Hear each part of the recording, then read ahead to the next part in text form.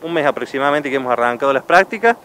Lo que se ve de fondo es la, sexta y séptima división y lo que acaba de terminar hace un ratito es cuarta y quinta división.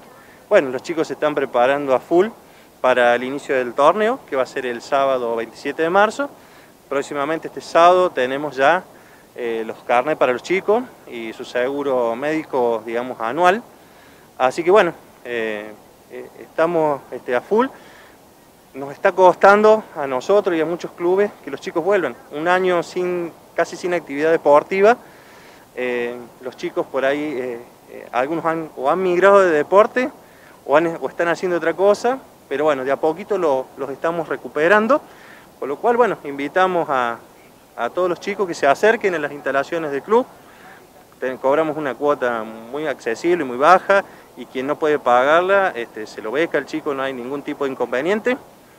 Así que bueno, con, muchas cosas, la Copa La Falda. Eh. Eso es una novedad, en realidad es una novedad a la vuelta, después de lo que fue el año en pandemia, pero ya está confirmada la Copa La Falda con los tres clubes de la ciudad.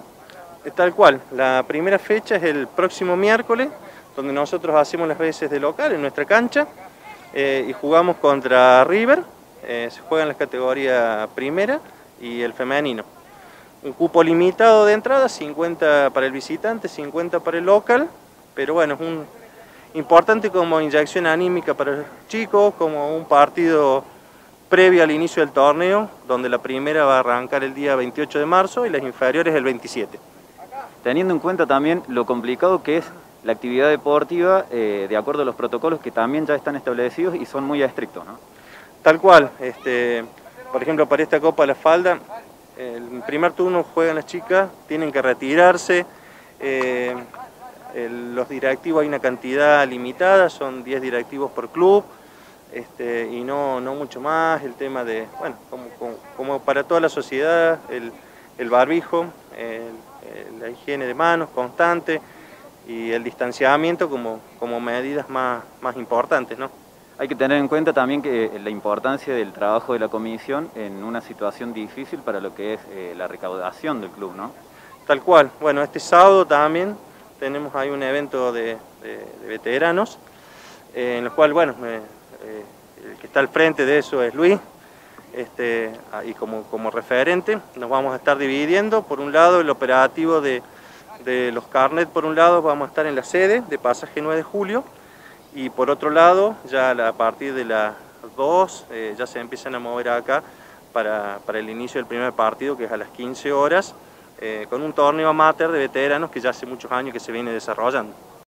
Para, para los chicos es muy importante la vuelta, la vuelta a las canchas. El año pasado se observó la falencia, la falta de deporte, la falta de fútbol.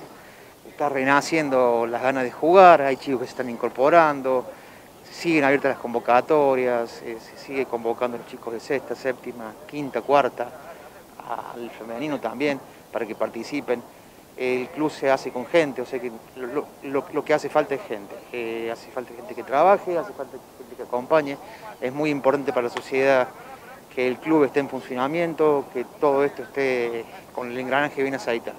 Y el acompañamiento también de, los padres, no solamente eh, en traerlos acá de entrenamiento, sino en gestionar por ahí también, se saben hacer rifas y otras cuestiones para recaudar. Sí, sí, sí, el acompañamiento, no solo el físico aquí en la cancha, el acompañamiento de los chicos, sino también todo lo que es el soporte estructural que por ahí los padres le damos al club.